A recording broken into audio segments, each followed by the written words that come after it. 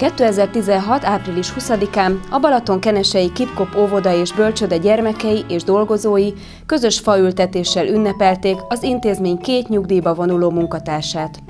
A faültetés hagyománya az óvodában több mint 15 évre nyúlik vissza, maradandó emléket állítva ezzel a gyermekek nevelésében tett szolgálatot teljesítő munkatársaknak. Gyerekek,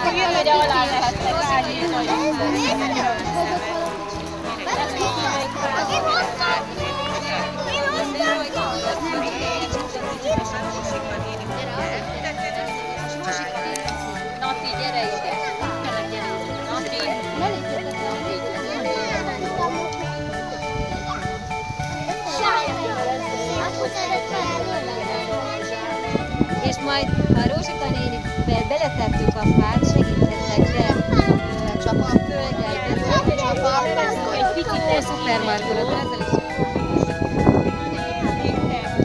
Fényképet csinálod, Bettike? Ahogy teszi bele? De majd én csinálom.